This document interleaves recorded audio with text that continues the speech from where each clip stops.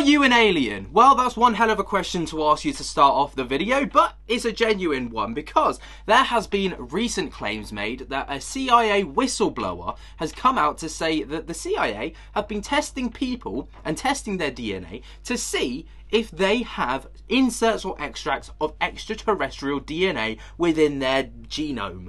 Um, and this is absolutely wild because I see people in my comment section all the time saying, We are the aliens, we are the aliens. And I've always thought, Man, you're crazy. But no, it, they could actually be onto something. Um, and lesson learned to me for dismissing things like that so quickly. But actually, we might this we might truly be the aliens, and this isn't the first time um, that this has kind of come out, um, because well, we're gonna we're gonna dive into it. It's absolutely insane. So we've got two inserts here, one from um, one person in particular, but there is another one on a very, very recent podcast that came out yesterday at the time of recording on the Danny Jones podcast. And he says that an alien abductee brain scans reveal ga- gateway to hidden world. And this is from Sean Esbjorn Hagens. All right, so that's the guest. Now, I've absolutely butchered that name, but we're going to take a look at the first clip first, and then we're going to get into Sean's claims. Um, but this this is where things get so like this could level humans up to like level one thousand. Time for you to share. And sharing meaning all the stuff that you worked with the CIA, or the exposure to, you know, the beings and these visions. The work was what exposure I had to the reality that there are craft, they're real, and there are beings and and these craft. They're here for a purpose, for a reason. And that reason is not so much to warn us of impending doom or anything like that, but to remind us that we're stewards of this planet and that we're doing a terrible job of that. Do you believe we inherited the planet, or do you believe there was extraterrestrials here um, way before us that started this? Well, to answer your question, I believe we are also extraterrestrials. I think we were brought here. Now, this is what people say to me in my comment section, and I'm like, I, I just dismiss it, or I don't dismiss it. I like, I always allow every opinion to be valid on this channel because it is, um, and I never delete comments and I never sway narratives. You know, I allow people to say what if if you've got a religious outlook, it's welcome. If you've got a scientific outlook, it's welcome. If you've got a skeptical outlook, it's welcome.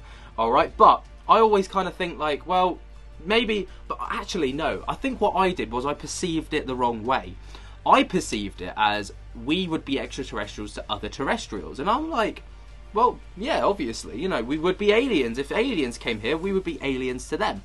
But actually, what they meant was we genuinely are aliens who were brought to Earth. Um, and this is this is the thought.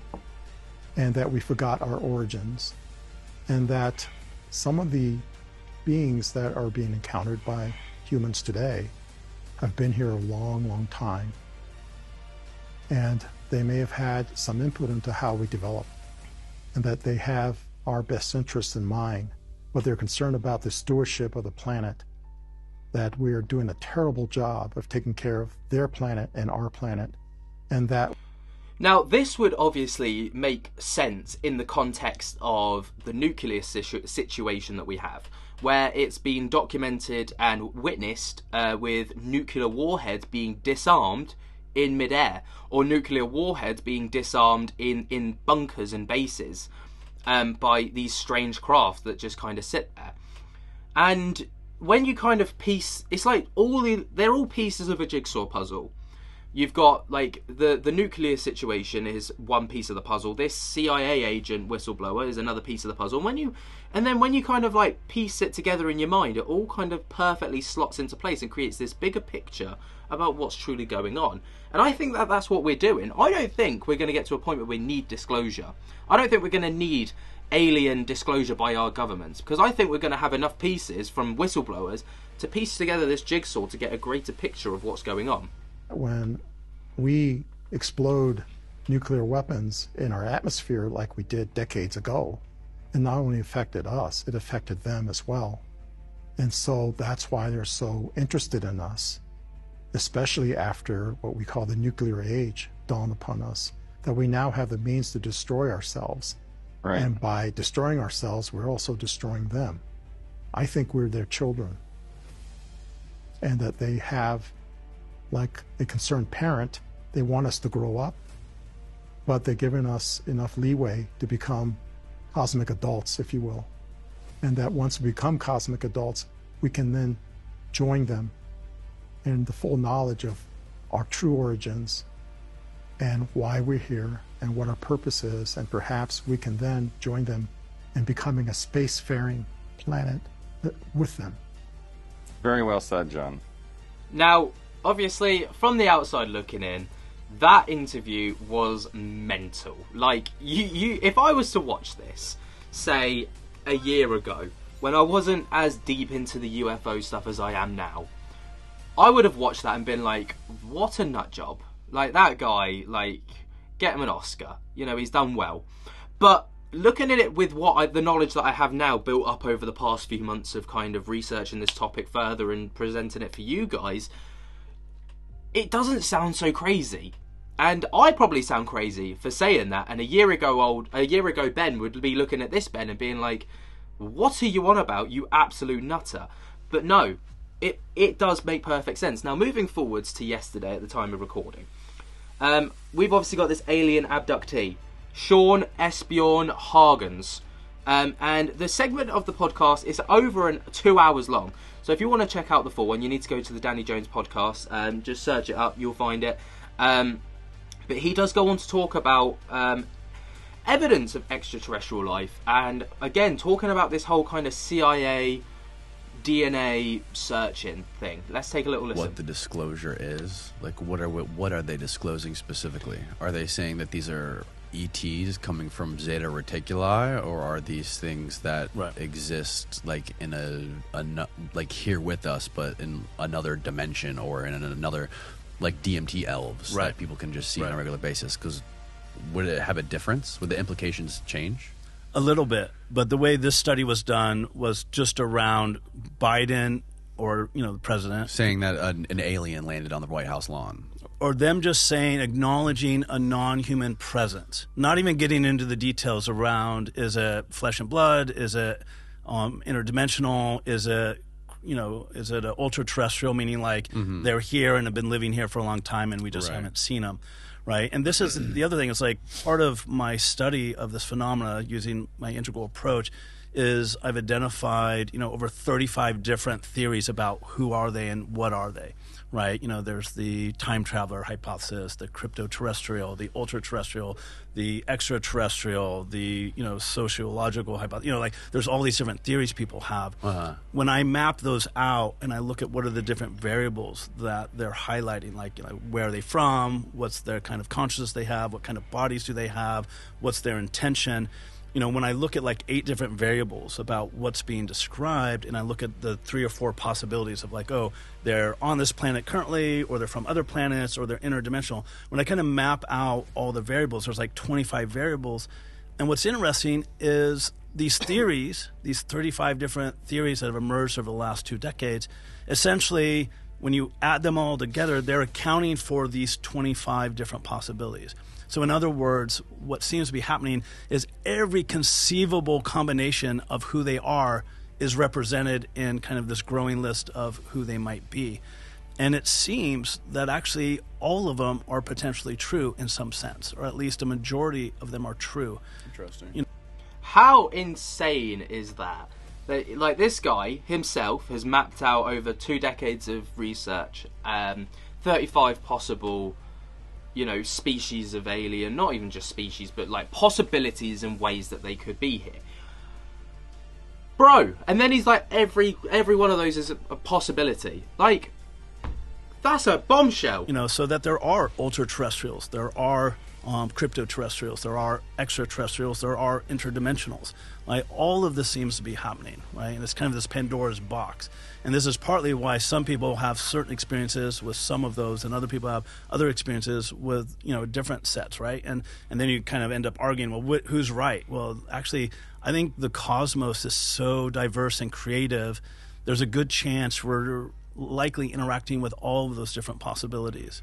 Well, I mean, when it comes to an individual's perception of something that happened or an individual's experience, if they believe something, I mean, you can't deny that, but you can't say that there's extraterrestrials. There's absolute, there's no evidence, right?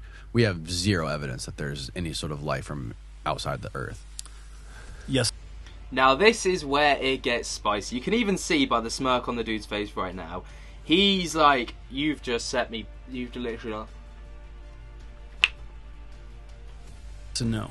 Um, it's interesting because you you see this these positions like there's no evidence and there's a lot of evidence, right? And and you have this back and forth. There is a lot of evidence. Um, is there a lot of scientific evidence? Um, no, scientific evidence is a higher bar, and yes, like there's still things need to be done um, to to meet that um, standard. If we talk about legal evidence, there's plenty of evidence that would satisfy um, you know definitions of evidence in a legal court of law. Now this is interesting because he's at, he's hit the nail on the head.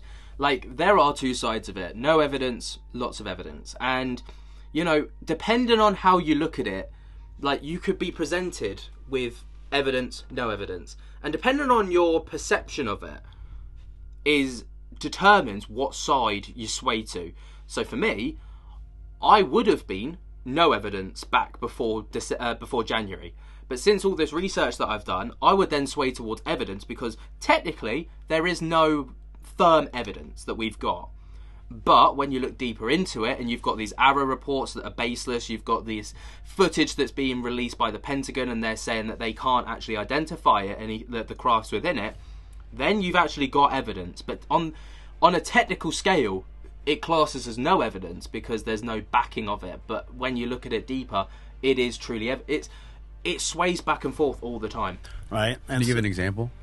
Well, you know, like witness testimony. Um, you know, so in a scientific context, it, it doesn't hold a lot of water. In a in a legal context, it can hold a lot of water. You know, and so you can convict someone, you know, without a weapon, you know, without the murder weapon, you know, based on witness testimony and, and circumstantial evidence and a lot of other things, right? If you took the the case of are there ETs, flesh and blood ETs, to the court, presented all the evidence, you should win. There's there's enough evidence to get a you know an, an affirmative conviction that that's the case. If you take it to a scientific lab, you're you're going to have a hard time you know meeting the standards of, of scientific veracity. So so part of what's going on is we have we have different views of what counts as real and what counts as evidence. Um, there's Well, for evidence, for if you want to prove something exists, you have to have some sort of physical evidence of it. Right. There's a lot of physical evidence with the phenomenon, right? You know, so like with, um, so like you take um, abductees, people who have experiences of being abducted, and you know, and so there's there's no smoking gun. So I think this is part of your point. You're pointing out there's no smoking gun. I'm saying you're right. There isn't a smoking gun. We don't have that yet, unless you know Garry Nolan and his team, you know, are able to get the government to roll out, you know, the you know one of the crafts, you know, that we have, you know, in hangar, you know, X, Y, and Z. Um, so we're- we're waiting for the smoking gun, but we don't need the smoking gun to be able to look at all the other evidence and use scientific methodologies and, and logical methods of deduction and induction to arrive at a, very probable conclusion based on that evidence, just as like we would in a court of law. Right, so there's archaeological evidence, there's sociological evidence, there's lots of experiencer reports, there's, you know, um, there's, you know, um, there is physical evidence, like the burns um, in the grass that Chris Bledsoe showed, right?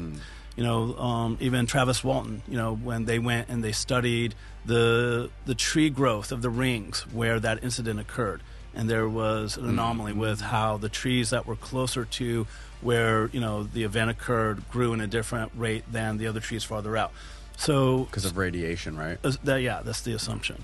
Um, there, you know, there have been implants, there's scars, there's body marks, you know, like there's, um, you know, there's scratches on cars, you know, there's like, there's a lot of like physical evidence, but it's not a smoking gun. But we should be careful not to dismiss all that physical evidence just because it's not a smoking gun. Now, this is so true, um, but obviously, you're never going to truly, you know, you're never going to get a skeptic to be on board without that smoking gun. All right, so without the actual footage, if an abductee comes along, for example, and says, I've been abducted by an alien, this scar's turned up, this scar's turned up, this scar's turned up, and I've got all this bruising, and it wasn't there last night when I went to bed, for example, you're going to be like, well, that's great, but how, like, you know, you there, there's a lot of like you know mental kind of chains that you'd go down like you know you'd have to look at history and all the rest of it but if you if that person then turned up and said i've got this scar this scar this scar and all this bruising and here's the video evidence of me being abducted it's a completely different ball game. The the the entire like it, I caught it on my ring doorbell, for example. I caught it on my home security. I managed to sneakily record it. It's a different ball game because you have the physical evidence that that truly happened. But when you combine it with all the other elements, it's very suggestive, right? Very very suggestive.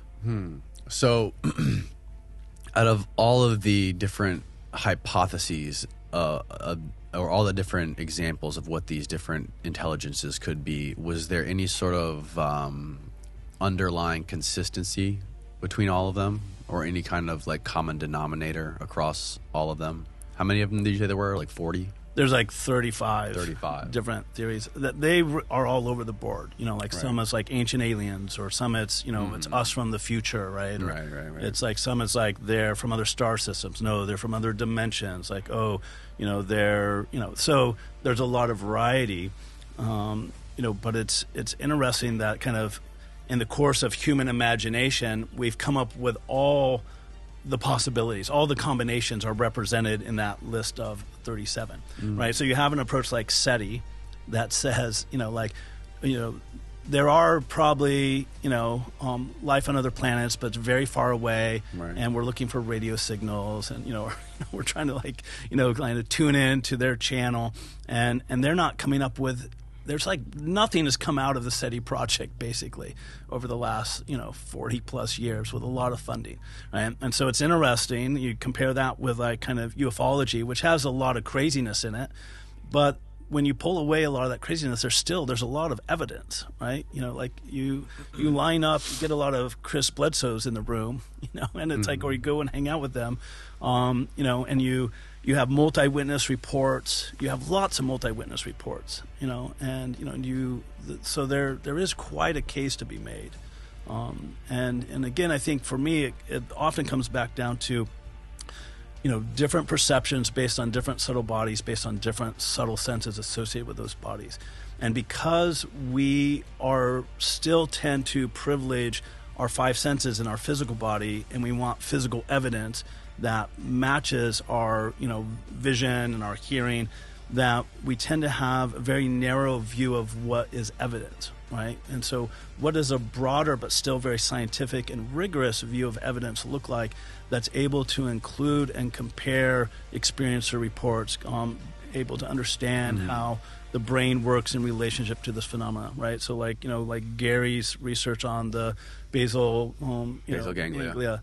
and you know how there seems to be this hyperconnectivity right? So one could look at that to say well okay there's this hyperconnectivity so people are just better at projecting or imagining these phenomenon or you could say no that's an antenna that actually allows them to perceive the phenomena. So kind of the same data point could be used to argue for or against the phenomenon right? You know and so but then when you couple it with like a lot of this other kind of evidence then you know and this is why i feel like the the government knows a lot more at least sections of the government know a lot more than what they're letting on is because you know um like i was told by a cia Now this is where it gets very, very interesting. um, agent that they actually have a, a test to determine if you have alien DNA in your system, right? And so maybe, maybe not. I don't know.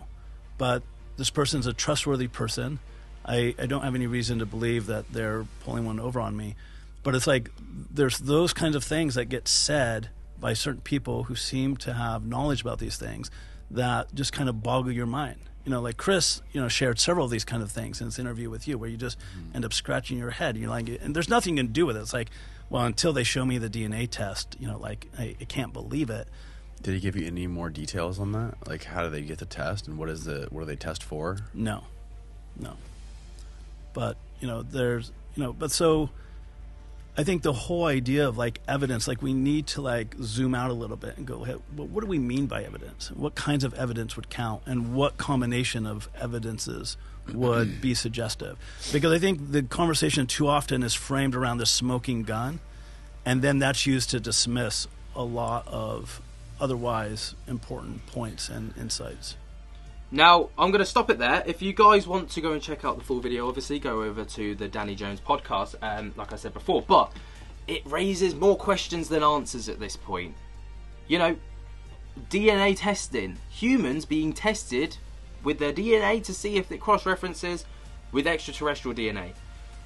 That is crazy. What if we all have little strands of extraterrestrial DNA, but it's just me- our, our makeup is so, you know, simple that we just haven't noticed it before. Like this is mad. This is mad. Um, but what do you guys think? Are you an alien? Am I an alien? I probably am. I don't know. Um, I mean, my ADHD sometimes kicks off, and I think I'm an alien. But what do you guys think of this whole situation? Let me know down in the comments below. While you're down there, be sure to jump together, hit that like button if you have not already. Subscribe if you're new and tickle my little bell so you get notified of whenever we upload. And until next time, guys, I hope that you have enjoyed. I cannot wait to see you in the next one, and I'll speak to you later. Peace. Fuck.